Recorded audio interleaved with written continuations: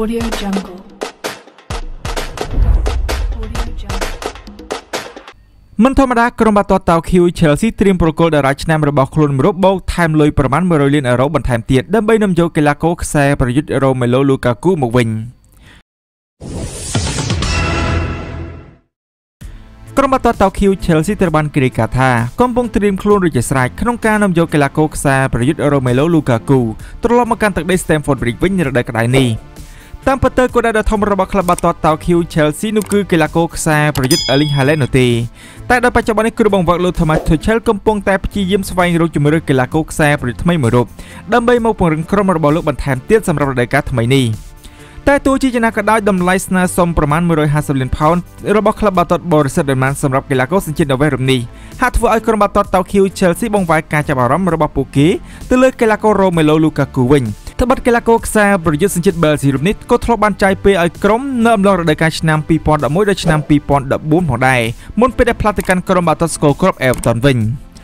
មិនតែប៉ុណ្ណោះបើយោងទៅតាមរបាយការណ៍មួយពី Liga Luca Di Marzio បាននិយាយថាក្រុមបាល់ទាត់តោ Q Chelsea កំពុងតែត្រៀមផ្ដល់ជូននូវទឹកប្រាក់ប្រមាណ100លានអឺរ៉ូបូកបន្ថែមជាវិនិកីឡាករខ្សែការពារ Marco Alonso ដើម្បីនាំយកអតីតតារាឆ្នាំរបស់ពួកគេឲ្យត្រឡប់ទៅកាន់ទឹកដី Stamford Bridge វិញ ប៉ុន្តែរហូតមកទល់នឹងពេលនេះនៅមិនទាន់ទទួលបានដំណឹងថាកិច្ចព្រមព្រៀងមួយនេះដំណើរការបានជោគជ័យនៅឡើយនោះទេ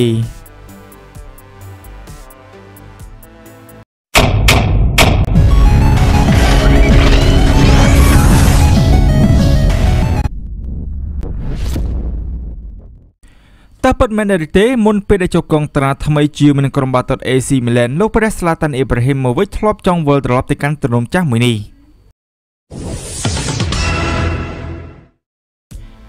កីឡាករខ្សែប្រយុទ្ធចាស់វសាស្លាតាន់អ៊ីប្រាហ៊ីម៉ូវិចបានបន្តកងត្រាថ្មីជាមួយនឹងក្រុមបាល់ទាត់ AC Milan កាលពីខែមេសាកន្លងទៅដោយធ្វើឲ្យសុពលភាពរវាងលោកនិងក្រុមត្រូវផុតកំណត់នាចុងខែមិថុនាឆ្នាំ2022តែមុននឹងសម្រេចចិត្តចុះកុងត្រាថ្មីលោកព្រះស្លាតាន់ធ្លាប់បានតាក់ទងទៅកាន់អតីតក្លឹបប៉ារីសសាំងសេម៉ាំងអំពីលទ្ធភាពនៃការវិលទៅលេងនៅទីនោះវិញនេះបើតាមការចុះផ្សាយរបស់សារព័ត៌មាន La Parisian ប្រពន្ធដដែលបានបន្ថែមថាគេឃើញភ្នាក់ងារផ្ទាល់ខ្លួនរបស់លោកនោះគឺលោកមីណារ៉ូឡា បានចូលពិភាក្សាជាមួយនឹងលោកលីអូណាដូដែលជានាយកផ្នែកកីឡានៃក្រុមបាល់ទាត់ប៉ារីសសាំងសេម៉ាំងតែដោយសារតែក្រុមស្ថិបារាំងមានគម្រោងផ្សេងទើបធ្វើឲ្យការចរចាមិនអាចប្រព្រឹត្តទៅដោយការរំពឹងទុកនោះទេគូបញ្ជាអភ័យថាលោកព្រះស្លាតាន់អ៊ីប្រាហ៊ីម៉ូវិចធ្លាប់បានចំណាយពេល4ឆ្នាំជាមួយនឹងក្រុមបាល់ទាត់ប៉ារីសសាំងសេម៉ាំងពលគឺចាប់តាំងពីឆ្នាំ2002ដល់ឆ្នាំ2016ហើយអំឡុងពេលនោះលោករកបានគ្រាប់បាល់បានចំនួន156គ្រាប់ ពីការបង្ហាញខ្លួនចំនួន180ប្រកួតសម្រាប់ក្រុមម្ចាស់ដី Pax de Brin ដែលធ្វើឲ្យលោកជាប់ឈ្មោះជាបុគ្គលទី2ដែលរកបានគ្រាប់បាល់ច្រើនបំផុតសម្រាប់ប្រវត្តិសាស្ត្រនៃក្រុមបាល់ទាត់ប៉ារីសសាំងសេម៉ាំងនិងចាញ់តែកីឡាករខ្សែប្រយុទ្ធ Edison Cavani តែម្នាក់គត់ដែលរកបានគ្រាប់បាល់បានចំនួន200គ្រាប់ Audio Jungle.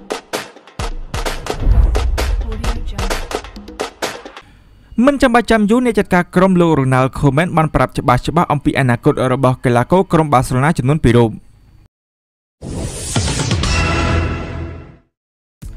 ដោយដែលអ្នកទាំងអស់គ្នាបានដឹងរួចមកហើយថាបច្ចុប្បន្ននេះក្រុមបាល់ទាត់នាមិនប៊ុនអេស៊ីបាសេឡូណាហាក់កំពុងជួបបញ្ហាហិរញ្ញវត្ថុ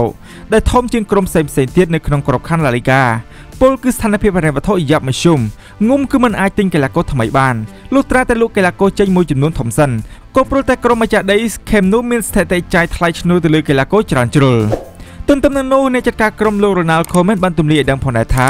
មានកីឡាករពីររូបដែលលោកនឹងសម្រេចចិត្តលក់ចេញមុនពេលដែលទីផ្សាររដូវកីឡាកររដូវក្តៅនេះបានបិទទ្វារដោយកីឡាករទាំងពីររូបនោះគឺជាកីឡាករខ្សែការពារ Samuel Umtiti និងកីឡាករខ្សែប្រយុទ្ធ Martin Braithwaite ខណៈដែលបច្ចុប្បន្ននេះក្លឹបក៏កំពុងតែប្រកាសរកអ្នកទិញផងដែរបើទោះបីជាការចាក់ចេញរបស់អ្នកទាំងពីរមិនអាចជួយអ្វីទៅដល់បញ្ហាហិរញ្ញវត្ថុនៃក្លឹបបានច្រើនក្តីតែវាអាចជួយឲ្យប្រព័ន្ធដឹកនាំរបស់លោក Ronald Koeman កាន់តែមានប្រសិទ្ធភាពជាងមុនព្រោះបើទុកពួកគេក៏មិនបានចំណេញអ្វីនៅឡើយត្បិតកាលពីការប្រកួតមិត្តភាពជាមួយក្រុមបាល់ទាត់ Stuttgart កាលពីពេលកន្លងទៅនេះកីឡាករខ្សែការពារ Samuel Umtiti និង Martin Braithwaite មិនបានបង្ហាញខ្លួនសោះឡើយ គូបញ្ជាអភ័យថាសម្រាប់ពេលកន្លងមកក៏មានក្លឹបបាល់ទាត់ផ្សេងផ្សេងទៀតបានដាក់សំណើសម្រាប់កីឡាករពីរូបនេះផងដែរតែដោយសារតែសំណើទាំងនោះខុសពីអ្វីដែលក្រុមបាល់សេឡូណាចង់បានទើបអ្នកទាំងពីរអាចឈរជើងមកទល់នឹងពេលសប្តាហ៍នេះបែបនេះក៏មានន័យថាឲ្យតែមានក្លឹបណាដាក់សំណើមកតម្លៃសមល្មមយកបានក្រុមបាល់ទាត់នៃមែនប៊ុន AC បាល់សេឡូណាច្បាស់ជាមិនទុកទៀតនៅឡើយ។